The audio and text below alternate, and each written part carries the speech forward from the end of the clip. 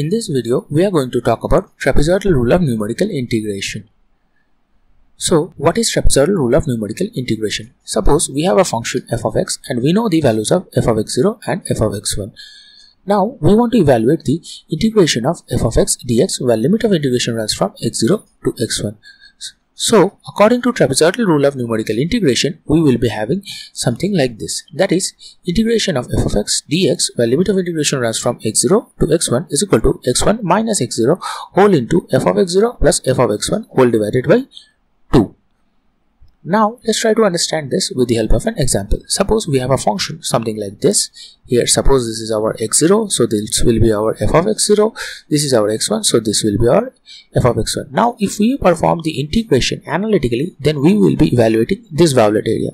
Now if we perform the same integration with the help of trapezoidal rule of numerical integration then we will be evaluating this blue area. Actually this blue area is a trapezoid hence the name trapezoidal rule of numerical integration.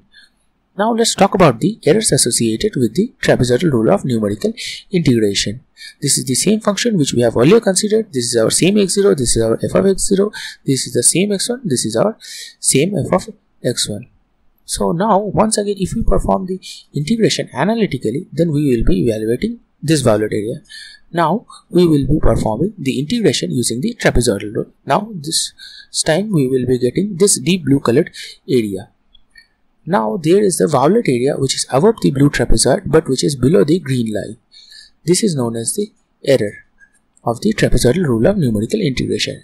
As we can see that this error is quite a lot so we need to find a way to reduce this amount of error. So what people have used is something known as composite trapezoidal rule of numerical integration. This is the trapezoidal rule of numerical integration which we have considered until now. Here we are going from x0 to x1 in a single step. But in composite trapezoidal rule of numerical integration, we will be increasing the number of steps so that we will be able to achieve better accuracy. Suppose if we make the number of steps is equal to 2, then we will be getting something like this. Here, as we can see from the figure that the error has reduced significantly. If we keep on increasing the number of steps, suppose we make it 3, then 4, then 5, then 6, then 7, then 8. Here we are seeing that this is actually quite similar to the analytical result, which is something like this. So, what people have concluded is that as the number of steps increases, we are getting closer to the analytical integration. This is all about trapezoidal rule of numerical integration. Thank you for watching.